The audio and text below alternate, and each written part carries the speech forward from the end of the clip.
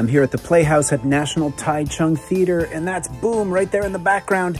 It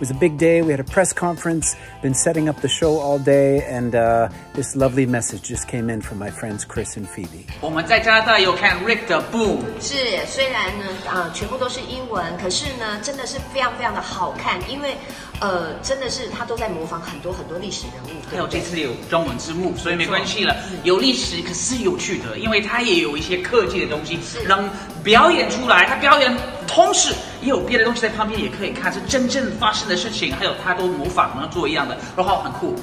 呀，所以你要了解历史就可以看这个，要了解我的父母可以看这个。我到现在还不懂他们。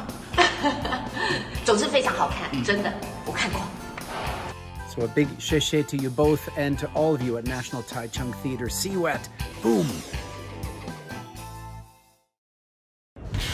This is it, the opening of Boom at National Taichung Theater. I was just given this good luck charm.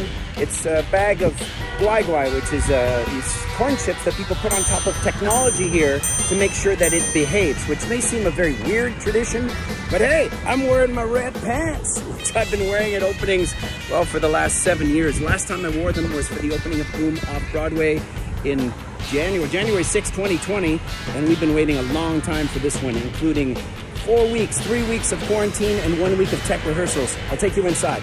Two minutes to showtime. Here we go. Diese Papier langsam live und mit Rick Miller it was the opening show, then we talked back, then saw some friends, then the evening show, then a talk back, then a little party with the crew. We have another show tomorrow. I'm done. And just like that, it's over. Boy, it took us you know, about 30 days to get ready and 30 minutes to take the whole damn thing down. But uh, anyway, again, so grateful uh, to have been able to do the show. So grateful to have been able to learn some Mandarin.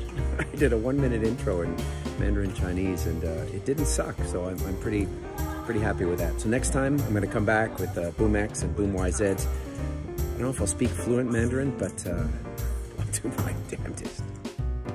Come back!